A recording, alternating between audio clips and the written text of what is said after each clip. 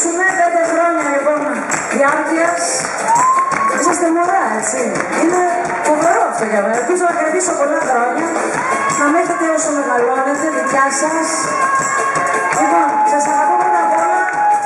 Όχι πρώτα απ' όλα, για πολλούς λόγους σας αγαπάω. Καλό, να καλωσορίσω και τον υπόλοιπο κόσμο, βέβαια που δεν είναι στο fan club. Εσείς χάνετε.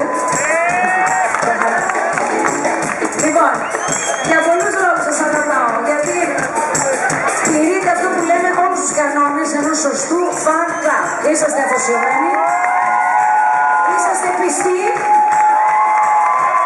έχετε διάρκεια, μου λέτε τη γνώμη σας δημοκρατικά. Είσαστε λίγο σχιζοφρενείς καμιά φορά βέβαια. Τη μια χρονιά υπάρχει ένα κομμάτι που συχαίνεστε, την άλλη έρχεστε και το λατρεύετε. Δεν πειράζει.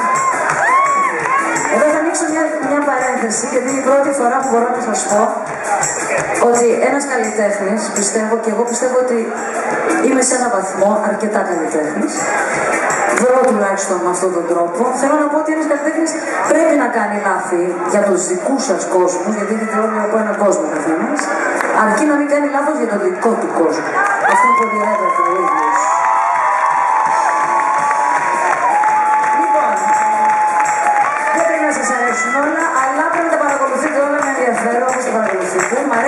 αρέσει που μου στέλνετε όλες τις ιδέες σας, μ' αρέσει το Twitter, μ' αρέσουν τα Facebook, μ' αρέσουν όλα.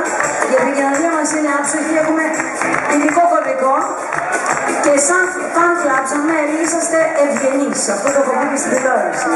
Δεν βρίζετε τους άλλους όμως, εκτός ελαχίστων εξαιρέσεων που θα πρέπει να τους αφανίσουμε όλους αυτούς. Να είμαστε καλά, παιδιά, μας πρέπει και να ασκήσουμε